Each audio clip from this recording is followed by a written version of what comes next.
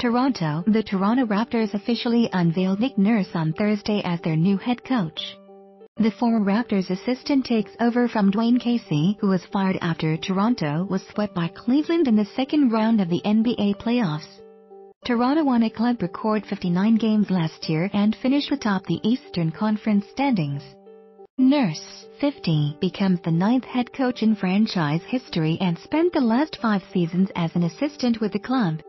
Before arriving in Toronto, Nurse spent six seasons in the NBA G League as head coach for the Rio Grande Valley Vipers 2011-13 and the Iowa Energy 2007-11.